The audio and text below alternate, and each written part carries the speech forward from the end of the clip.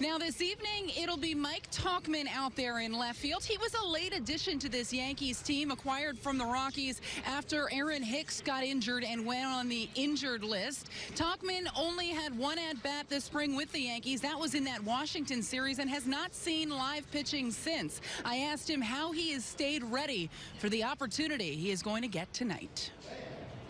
The big thing is just kind of have your eyes ready for velocity. Um, you know, so I've been doing a lot of work on the on the on the fastball machine inside.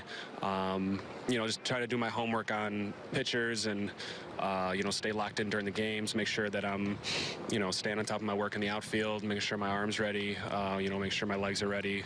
Spending some time in the weight room. Um, you know, just prepare preparing as if I was a starter. I think.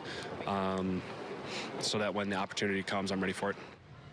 Now, Tauchman bounced between the majors and the minors with the Rockies last year. He spent the majority majority of his time in center field, but did play a good deal of left field as well. Aaron Boone saying he wanted to keep Brett Gardner in center field because he is going to be there for a while. He is used to playing the position with Aaron Hicks out. They believe that that is their best option at center field, but don't be surprised if Brett Gardner needs a day off if you see a guy like Tauchman or even Clint Frazier out there giving him a break.